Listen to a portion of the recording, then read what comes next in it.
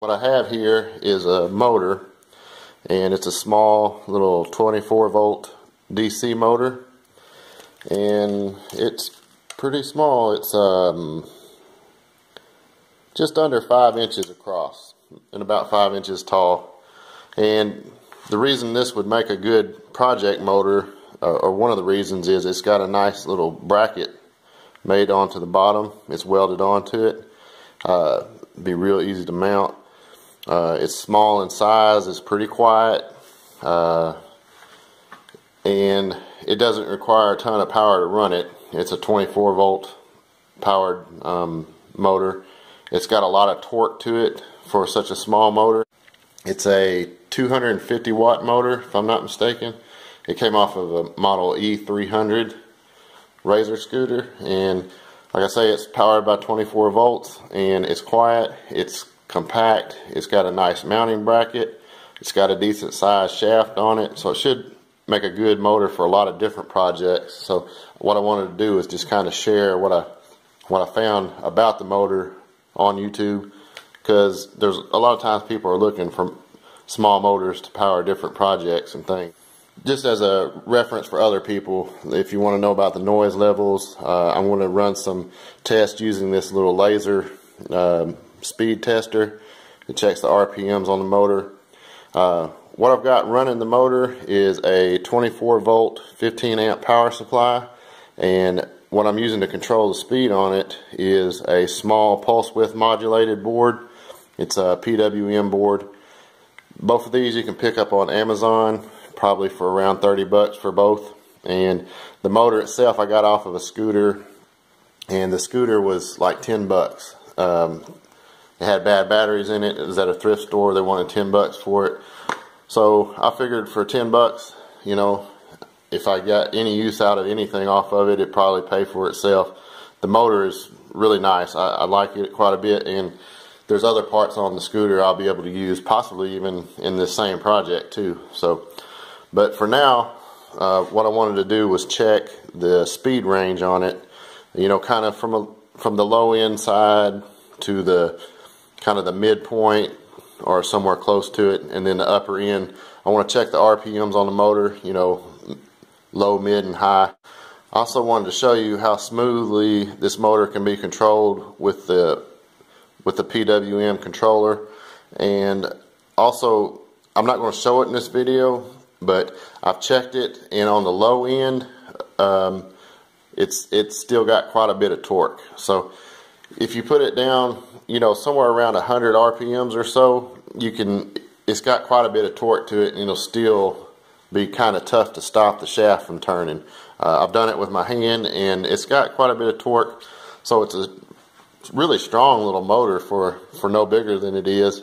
And I think it would have a lot of applications for a lot of other people in different projects. So I just wanted to get it out there in case people were wondering about you know what sort of motor I might be able to use to power a project.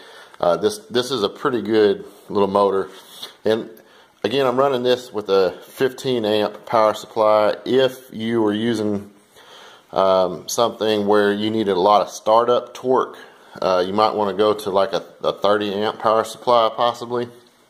I think for what I'm using, I'm going to start it out under no load and then build up the speed on it before it gets any load put on it. So I think 15 amps should be fine for what I want to do. I'm not an electrician, but I know a, a, little bit about some things. But if anybody, you know, has any thoughts on that that, that knows more than I do, I'd certainly listen and and uh, and learn.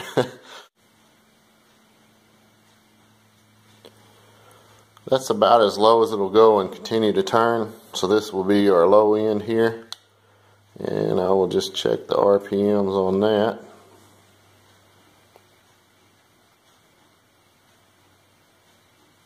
So we're looking at about 23 RPMs on the low end. Now if you crank it up just a little faster than that,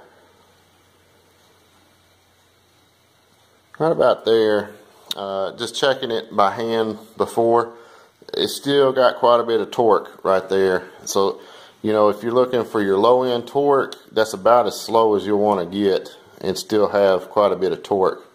And it's around, uh, you know, just under 110 RPMs. So somewhere in the 100 to 200 range, you, you've got quite a bit of torque. You get less than that, it doesn't have much torque, but it might have other useful applications for turning something at a slow speed. Uh, after you've been working on it, if you're just letting a finish dry or something like that, you could turn the speed down some uh, to spin it out a little slower. I'm going to get this up somewhere around the mid-range, hopefully. Let's try right about there. But let's check the RPMs here at this speed.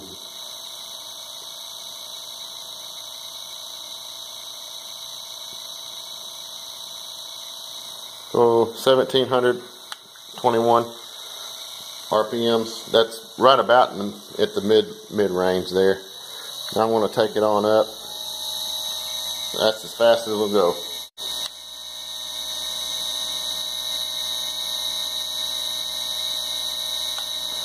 So we were at about 34, 44 on the RPMs on the high end. So just around 3,500 RPMs is, is where it maxes out. I don't know how well this, the noise level will pick up through the microphone that I'm wearing on my shirt, but hopefully that will come through um, and give you an idea of how loud it is. It's pretty quiet.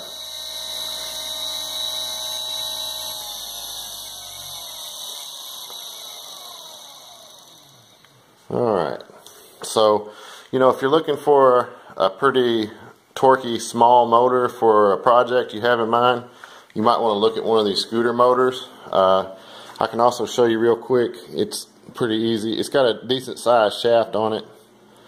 I'd have to measure it again. I believe it's around 8 millimeters in diameter. This is actually a, a reverse threaded nut.